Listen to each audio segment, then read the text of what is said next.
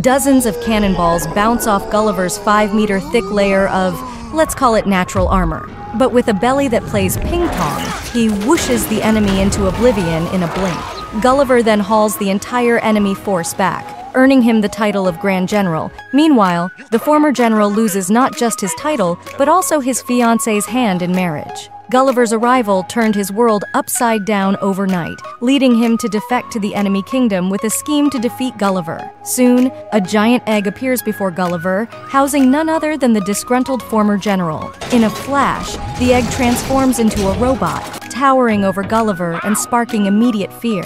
As Gulliver contemplates fleeing, he's effortlessly picked up, surrendering on the spot.